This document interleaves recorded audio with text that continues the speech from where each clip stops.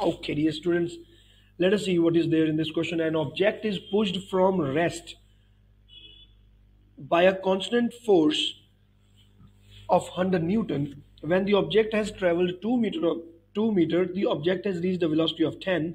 What is the mass of the object? Okay, fine. So what are the things that are given here? Like these, these are typical questions where they have mixed the two different parts of mechanics. Like one is kinematics, another is uh, dynamics. So both of these parts have been mixed.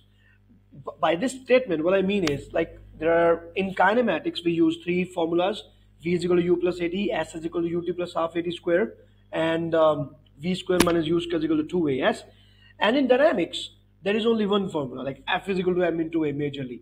So these formulas have been mixed now. Okay.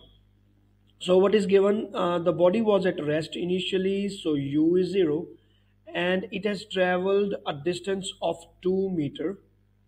Fine.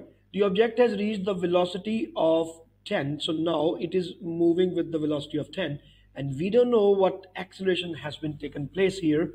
But the force that was applied on it is also known as 100 Newton. Also known uh, when the object has traveled 2 meters, the velocity is what is the mass.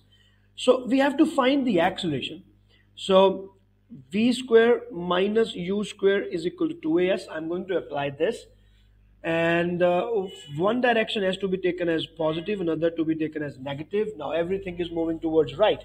So right direction has been chosen as positive. We just substitute the values here. 10 square, u will be 0, 2, acceleration a, and displacement will be positive because it is in this direction only. So that will be 2. So it is 100 is equal to 4 into a so acceleration is 25 meter per second square. Now that's the acceleration and F is also known. So another thing is F is equal to M into A. So force is 100 Newton, mass we want to find and acceleration is 25. From there we get that mass should be coming out to be equal to 4 kgs. So this is how we do it and yes we are having this 4 kg in our options. So our answer is B. So this is how we do these questions.